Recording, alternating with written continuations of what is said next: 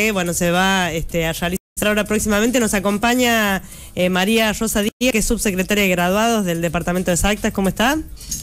Buen día. Ahí está, muy bien. Cerca del micrófono. gracias a ustedes por venir. También eh, nos acompaña Joaquín Giordano. ¿Cómo está, Joaquín? Hola, buenos días para todos y para todas. Vos sos el presidente del Centro de Estudiantes este, y del grupo de robótica que va a participar también. Exactamente, sí, el presidente del Centro de Estudiantes de eh, Ingeniería Mecatrónica en Sistemas, eh, la licenciatura y la tecnicatura en Informática. Bien, y también está mm, Lara Martínez, que es estudiante. Eh, ¿Cómo estás, Lara? Hola, buenos días. Buenos días. Y mm, Javier Pablo Nieto, ¿cómo va? ¿Qué tal? Buenas. Ahí está, todos presentados. Y ahora vamos a lo que importa. La Liga de Robótica, cuéntenos chicos, ya está, bueno, próximamente se va a realizar. Sí, la liga se realiza en el día de 24, sábado 24. Va a ser acá en la universidad, en el patio del Colegio San Martín. Es el tercer año que realizamos la liga en conjunto, desde el departamento, en conjunto con todo el equipo del DACEFIN, con los estudiantes, con las áreas, con todos, todo el DACEFIN. ¿Y qué significa liga, María Rosa? Porque no es un, no es un congreso, no es un, taller, no. es una charla. La liga se, se buscó, el objetivo es conglomerar a todos los jugadores aislados que había a, lo largo del, país. Esto eh, ya hace 20 años, de hecho que este año cumple 20 años y va a ser en Bahía Blanca la final. Y nosotros, los que compitan acá en esta, en Liga Nacional de Robótica, juntan puntos para ir a competir en la final que es ahí comenzó la liga, ahí comenzó juntando a todos aquellos que estaban interesados en esta temática, la robótica visionaria que hoy está inmersa en cualquier profesión que es un apoyo. Así que por eso nosotros la UNLAR es sede desde el 2020, pero dado por la pandemia no pudimos, entonces el 2022 comenzamos a realizar la competencia. Bien. ¿Y qué implica una competencia en una liga robótica? A ver si nos, eh, nos, nos cuentan un poquito los chicos también. Bueno, eh, implica mucha experiencia, sobre todo, eh, por ejemplo, eh, para los chicos que están empezando primer año, segundo año, que sobre todo en la ingeniería esos dos años son de ciencias básicas. Entonces esto los ayuda a acercarse más a los trabajos prácticos, por así decirlo, que, van a hacer cuando, cuando ya sean ingenieros. porque esa etapa ya está al final de la carrera, entonces esto los acerca un poco más y es una experiencia eh, muy linda, se aprende muchísimo. Yo participé por primera vez el año pasado, esta es la segunda vez y bueno, eh, se adquieren muchos conocimientos y, digamos, ve los libros ahí en, vivo, digamos. Eh, te ayuda a transmitir eso que vos viste en el libro a la realidad. Lara, vos por ejemplo participás con, en la liga, mañana tenés algún proyecto? Sí, mi grupo tiene un seguido de línea que va a eh, participar en la mm, categoría de carrera y un sumo que va a participar en la categoría de sumo. ¿De sumo? Sí. Chicos, eh, chino básico para nosotros. Lo primero que, dijiste es... Un, seguidor en línea. Un seguidor en línea. Sí, es como un autito, podemos decir, que tiene un sensor infrarrojo que sigue una línea en color negro y eso es el, durante toda la pista tiene que seguir la línea, el autito, para ganar en la carrera, obviamente. ni más ni menos. Eh, el sumo, perdón, perdón. Es como una pelea de sumos. con los robots que tienen que tener una palanca para que pueda derribar al otro o sacarlo del área de competencia. Ahora, uno tiene la sensación que cuando dice robótica ya entiende lo que dice, ¿no? O sea, ah, claro, la robótica, pero ¿qué, qué, qué implica la robótica? Bueno, la robótica es una ciencia que va conglomerando los conocimientos tanto de programación, de mecatrónica, de electrónica, que vos vas haciendo, como bien dijo este Joaquín, cuando vos vas a desarrollar un robot, vos ahí aplicás todos los conocimientos que has adquirido, ahí ves plasmado tu conocimiento y ahí podés visibilizar lo que es, lo que es ingeniería de software, lo que es este, electrónica, electricidad, todo porque cuando tienen que tienen que ser específicos cuando tienen que este, soldar los cablecitos que son tan finitos. vos ahí vas plasmando todos los conocimientos y es los chicos de primer año, que son los que recién están ingresando, que van a ver eso al final, cuando ya hagan su trabajo final, hoy tienen la oportunidad de ir aplicando sus conocimientos y visibilizando, viendo la tangibilidad de ese conocimiento. Bien, bien. Eh, Pablo, ¿vos tenés algún proyecto para la liga?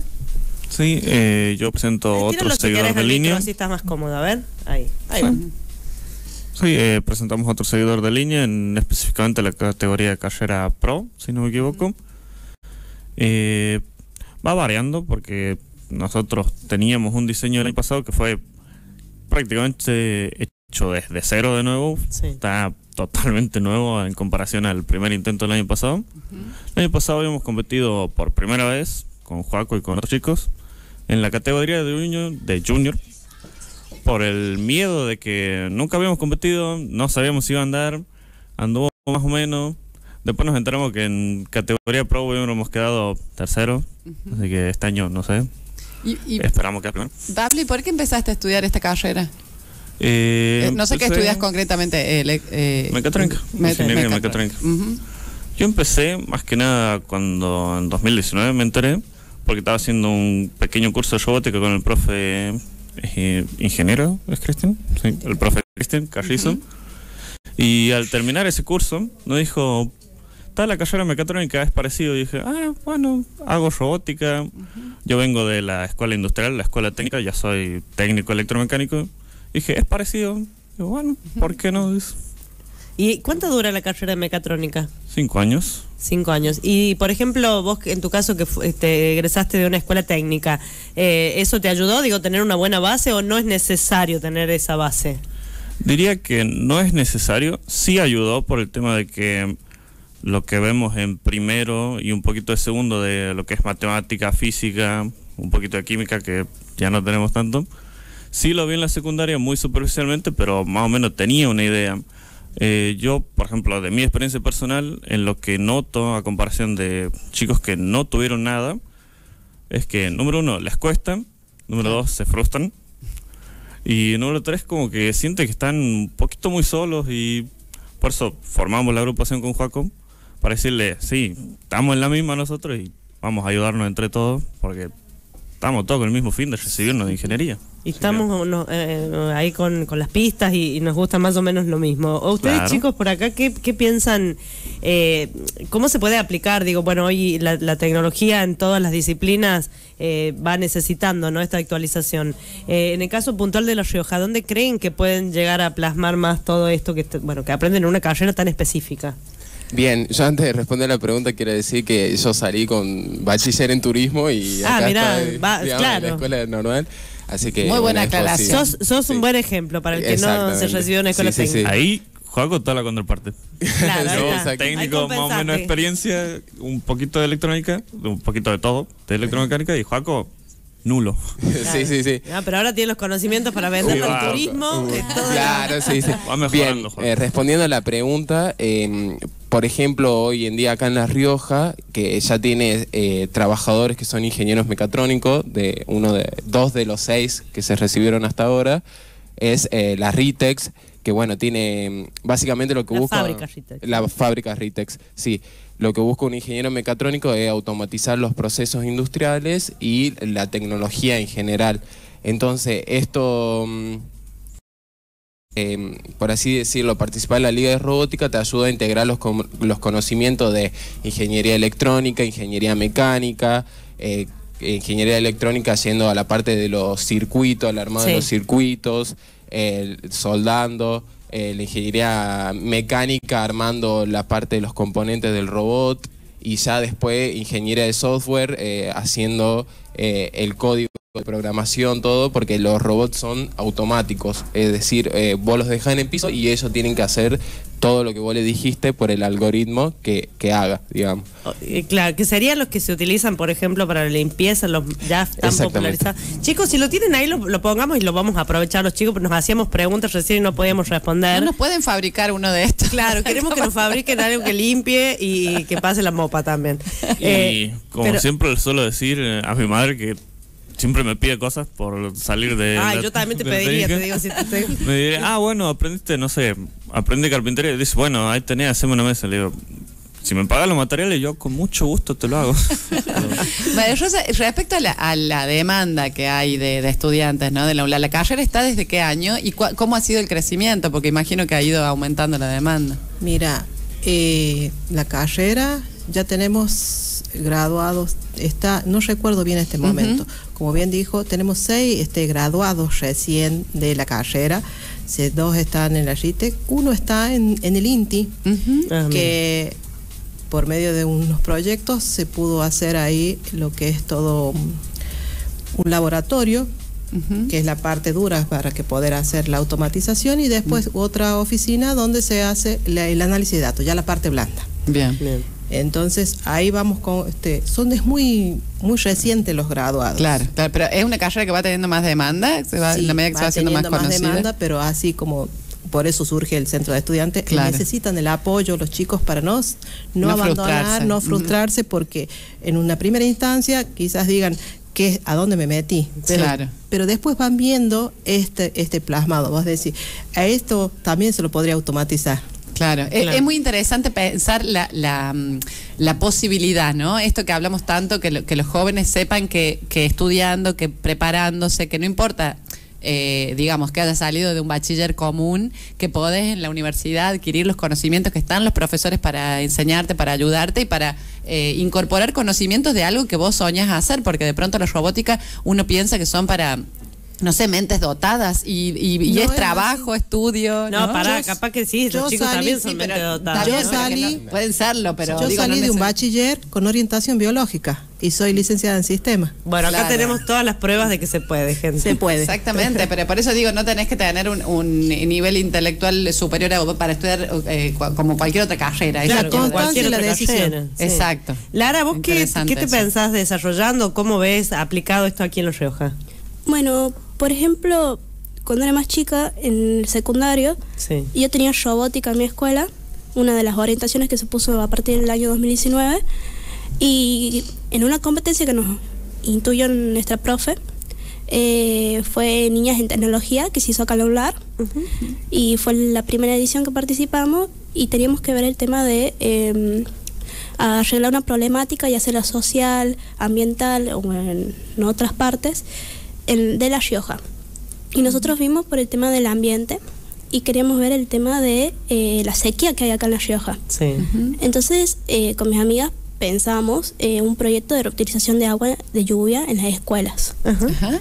Y nos fue bien. nos ¿Lo fue desarrollaron? Sí, lo desarrollamos, hicimos todo el informe, lo hicimos, eh, armamos todo y nos fue bien, por suerte. Ah, bueno, eh, está bueno que si está escuchando a alguien del gobierno, claro, esté te atento porque... Te iba a preguntar si no se pensaste en proponérselo a las autoridades provinciales, ya que es una problemática, digo, la de la sequía. Sí, es una problemática. Por ejemplo, vimos el cerro quemándose últimamente y Sí. que no lo puedan a- ayudarlo prontamente para que Sí. no se queme más es una problemática que nos involucra a todos, obviamente, Sí. y nos afecta. Bueno, me parece que son puntas, ¿no? Que, que hay mi- millones de aplicaciones dentro de lo que se puede hacer y creo que al haber un avance y un desarrollo tecnológico cada vez se abren más posibilidades. Digo, eso es un- también una buena posibilidad para, para atraer gente a la carrera, me parece, ¿no? Y sí, de hecho que mira, en esto en la competencia tenemos, como bien dijo, ellos el año pasado participaron en categoría junior, que no junta puntaje para ir a competir en la final en la Liga Nacional. Este año se animan y van a la Liga. Nacional. Pero aquellos que están haciendo sus primeros pasos pueden participar, inscribirse, están a tiempo, que tengan una idea y que vengan y que participen con su robot en la Liga Junior, que no junta puntos, pero sí ganan en experiencia. Claro. Y que después pueden seguir perfeccionándolo. Bien. No tenés que ser estudiante de la carrera necesariamente. No, para, para, eh, para la liga, liga no, no. hace falta. El que quiere se participa. Para la liga puede presentarse cualquiera y para pro también, porque es abierto a todo el público. ¿Y te querés dar un, un mail, un Instagram, un, un teléfono? algo? la escuela de está el Face de la escuela de robótica o Bien. en la página del DACEFIN Del Perfecto. departamento. del departamento DACEFIN UNLAR, la SAE UNLAR porque está co- compartido en todas las redes del departamento, de todo el equipo del departamento. Ahí lo pueden Bien. Perfecto. Y quien quiera participar eh, para este para esta liga en esta ocasión, ¿dónde se comunica ahí? Por esas vías. Por esas vías. Yo les voy a dejar ahora la- el- los formularios, el link del formulario para que para las distintas categorías. Lo que es participan en la Liga Nacional de Robótica en las categorías sumo, mini, sumo, Sí. fútbol, carrera, carrera pro. Tenemos está dividido en dos categorías porque unas serían con turbina y sin turbina. Ah, Sí, bien. Si les explico. Re específico. Sí, re específico. Entonces, En cambio, para la junior, que es los que recién están in- incursionando, es fútbol, seguidor de línea, desafío. Desafío, eso ya va en otro tipo de pistas. Ah, es, así, es para los más chiquitos. Bien. ¿Y qué entra en desafío? Tenés un laberinto, que también que es como el seguidor de línea, y hay otro para que vaya, es muchas las curvas que tiene que hacer, entonces no debe salirse de esa línea. Ah, bien. Son como las pistas que... que- Como las pistas de ¿sí? carrera. Bien, ahí va.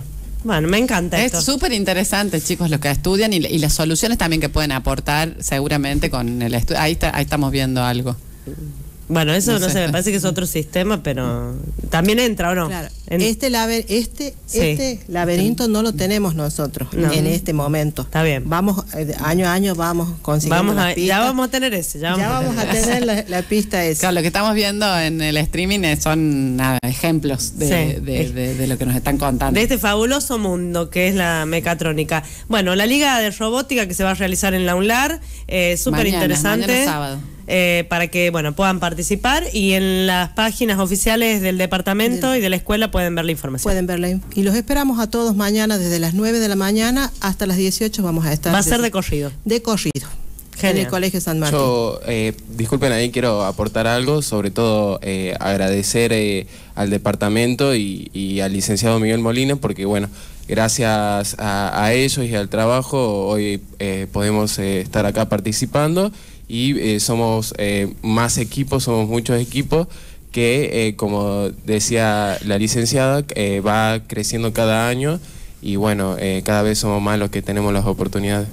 Buenísimo Bueno, eso. eh, y yo les puedo manguear al aire que hagamos uno de estos robotitos como que recién lo antes que ustedes Bueno, vienen si, vas- si vas a manguear, yo quiero Sí. manguear el proyecto de Lara. Ah, yo también quiero el de, el de Lara, sí, sí, me gusta. el de las lluvias, que a ver qué, qué se puede. Che, hagamos algo, capaz que le tiramos una idea, ¿no? Ahí este, a- al gobierno provincial también aportar ideas, que ese es un poco también el, el objetivo, Ese ¿no? es el objetivo. Ser útiles a la comunidad, a la sociedad, dar soluciones. Ahí está. Bueno, eh, participen todos los interesados, interesadas en la Liga de Robótica eh, que va a ser mañana aquí en la ULAR. Y ya ahora cuando... Ahí va, mira, ese es el, ese es el que queremos nosotros. Ah, el de limpieza. el de limpieza. Ese Ese- funciona como un seguidor de línea, tiene eh, sensores, todo, y, y él sabe, detecta los objetos, entonces por eso no lo no, los ¿No podemos producir uno acá en la Uni? Eh, sí, es posible. Nosotros sí, lo, sí, sí. lo sorteamos, lo vendemos, lo que sea Los- necesario. acá. chicos, eh, ya tienen clientes. Acá hay cliente, digo, acá, acá, acá te compramos un montón, ¿eh? No, no, no, no tengas dudas. Además, para limpiar acá el multimedia nos viene bárbaro. Ahí está. Gracias, este chicos, subsecretaria y graduado María Rosa Díaz, eh, Joaquín Giordano, Mar- eh, Lara Martínez y Pablo Nieto. Gracias a todos. Muy bien, muchísimas Muchas gracias. a ustedes. gracias. Gracias a ustedes. Muchas Muy gracias. amable. 33 de las 11, poco